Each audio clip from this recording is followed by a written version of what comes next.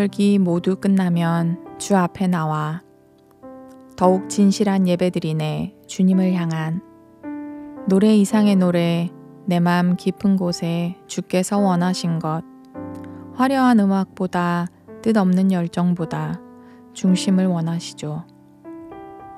마음의 예배라고도 알려진 이 곡은 한국어 가사도 좋지만 원곡의 뜻을 보면 이 곡의 핵심은 중요한 것은 음악의 화려함이 아니라 예배의 중심이 예수 그리스도라는 점입니다. 오늘은 이 찬양의 이야기를 들어보겠습니다. 왓퍼드에 있는 영국 성공회의 소울 서바이버 교회는 마이크 필라바치 목사님을 중심으로 11명에서 개척을 시작하여 점점 성장하였고 건물을 사게 될 정도로 부흥하게 되었습니다. 초창기 멤버 중에 맷 레드먼이라는 유명한 찬양 사역자도 있었습니다. 처음 2, 3년간은 경배가 끝나는 것이 아쉬울 정도로 은혜로운 예배를 드렸습니다.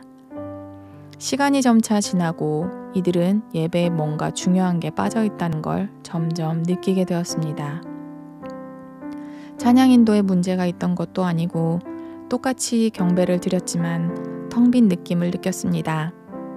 배터리가 빠진 것처럼 주님이 여기 계시고 내가 여기 있습니다 하는 그런 탄성이 나오는 순간이 사라진 것을 느꼈지만 원인을 찾지 못했습니다.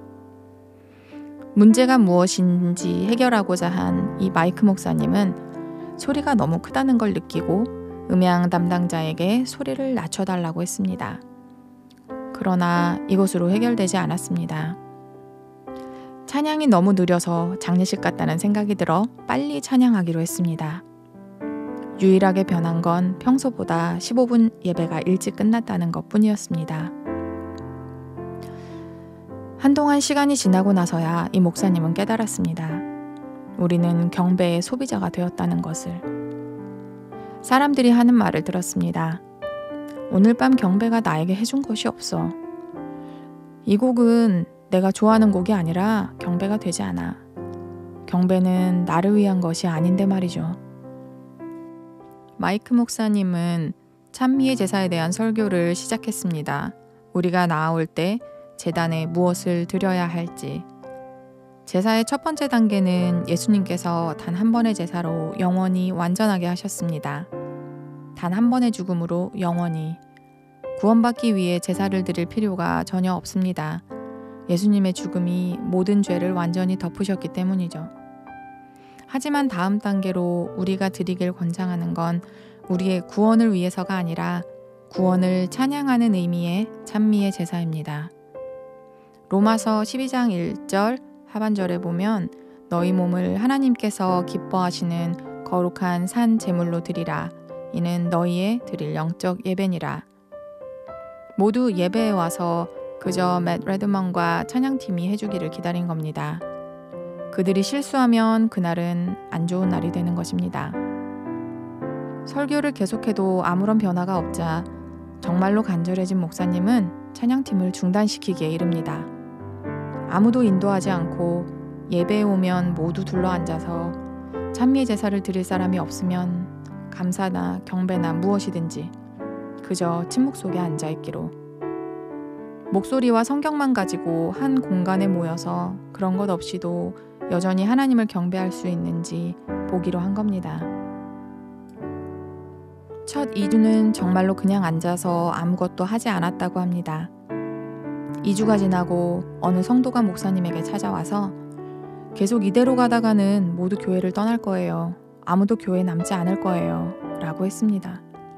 그때 이 마이크 목사님은 이렇게 대답했습니다. 예수님께 경배하는 방법을 잊은 교회라면 차라리 없는 것이 낫겠어요. 3주가 지나자 한 사람이 말을 시작했습니다. 주님께 감사드립니다. 또 다른 곳에서 누군가가 이야기했습니다. 주님께 감사드립니다. 주님을 찬양합니다. 어떤 사람은 시편에 있는 경배하는 구절을 읽기도 했습니다. 갑자기 전원이 켜진 것 같았습니다. 몇 주가 지나고 나서 어떤 사람이 노래를 부르기 시작했습니다.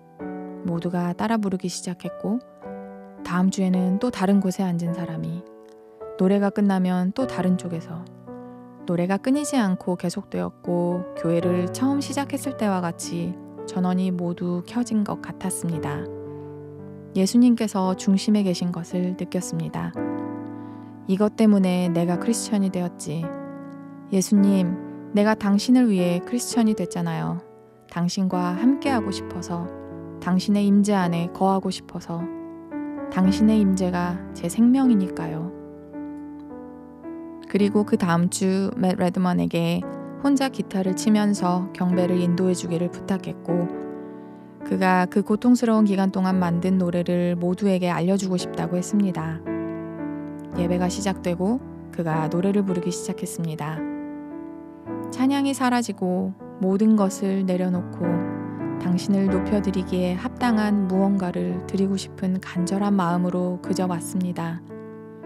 노래 그 자체를 요구하신 것은 아니기에 노래 이상의 것을 드립니다. 제가 경배의 마음으로 돌아옵니다. 마이크 목사는 이렇게 고백했습니다.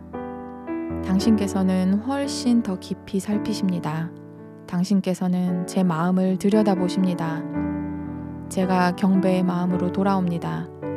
이 모든 것이 예수님, 당신을 위한 것입니다. 이 모든 것이 당신을 위한 것인데 주님, 우리가 만들려고 해서 죄송합니다. 이 모든 것이 당신을 위한 것입니다. 우리는 끊임없이 경배의 마음으로 돌아와야 합니다. 이건 정말로 그분을 향한, 그분을 위한, 그분에 대한, 그분과 함께, 그분 안에서 그분을 통하는 것입니다. 그걸 놓치면 그냥 감정일 뿐입니다. 음악적으로는 완벽하지만 죽어 있는 경배. 그러나 음악은 좀 엉성한데 마음이 있는 경배. 궁극적인 최고는 둘 다 있는 것입니다. 그것이 우리의 목적지입니다. 우리 마음의 예배를 받으시는 예배의 중심이 되는 주님께 집중하며 매일매일의 삶의 예배를 승리하시는 모든 성도님들 되시기를 소망합니다.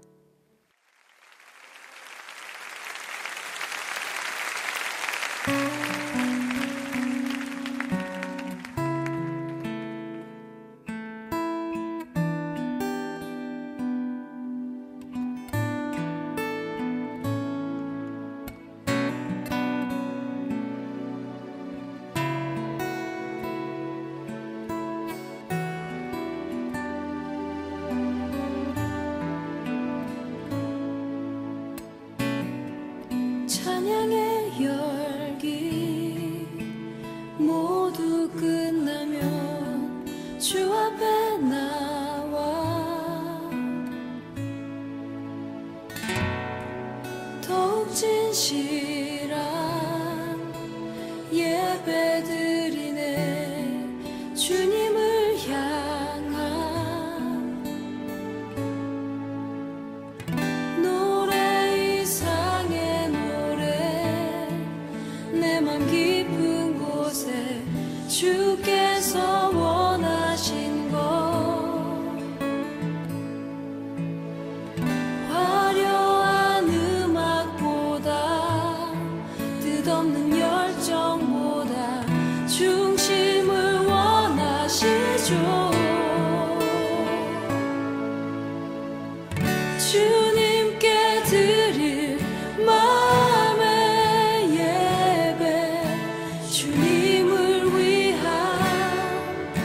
tu